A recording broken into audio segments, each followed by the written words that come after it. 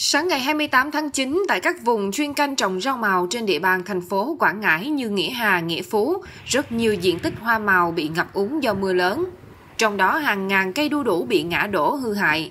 Bà Đặng Thị Của, xã Nghĩa Phú, thành phố Quảng Ngãi cho biết, bà trồng một sào 100 cây đu đủ, từ đầu năm đến nay mới thu hoạch được vài kỳ thì gãy đổ hết, thiệt hại hoàn toàn. Bà Của đành đem về nhà cho gia súc ăn và chọn được một ít trái đẹp để bán. Ông Phạm Tây, xã Nghĩa Hà, thành phố Quảng Ngãi thiệt hại gần 100 cây đu đủ. Số lượng còn lại thì ông Tây chống đỡ, chăm sóc để cho trái lứa sau. Bà Nguyễn Thị Loan, Phó Chủ tịch Ủy ban Nhân dân xã Nghĩa Hà cho biết, có 70 hecta diện tích hoa màu bao gồm đu đủ, chuối bị thiệt hại hoàn toàn.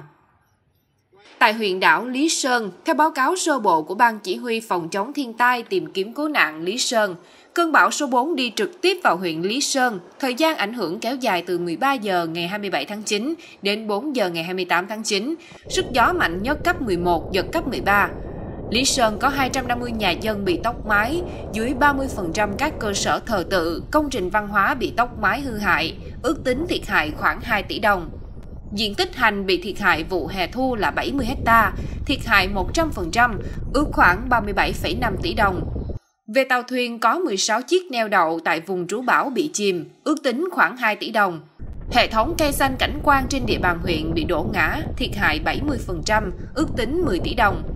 Về giao thông, hệ thống giao thông đường cơ động phía đông Nam đảo bị sóng đánh làm hư hỏng một số điểm, ước tính thiệt hại 800 triệu đồng.